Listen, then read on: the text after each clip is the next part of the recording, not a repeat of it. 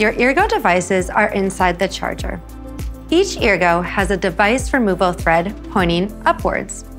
At the end of each thread, there is a little grip that makes it easy for you to grasp it. Lift Eargo up and out of the charger using the removal thread grip.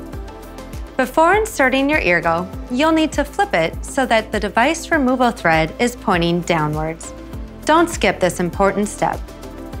Once you've flipped it, you'll see a marker, right side up, indicating which ear the device is intended for. L is for left, R is for right. Grasp your Eargo by its device removal thread with the L or R facing you. Remember to keep the device removal thread pointing down. Then gently insert the device, petal first, into your ear canal. Press it into place with your finger or thumb the removal thread grip should rest comfortably in this notch. To move from one program to the next, use your finger to rapidly double tap where indicated, or use the Eargo app. Your Eargo will automatically turn on about 15 seconds after removal from the charger's hearing device cradle.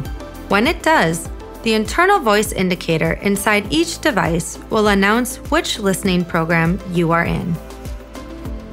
Once it's time to take your Eargos out, use your finger and thumb to grasp the removal thread grip.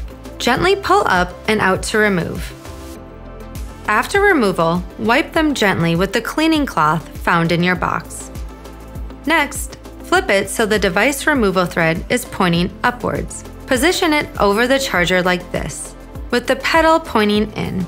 Release the device. Feel a slight magnetic pull as it settles into place. Make sure that the device removal threads are centered inside the lid when you close the charger. Happy hearing!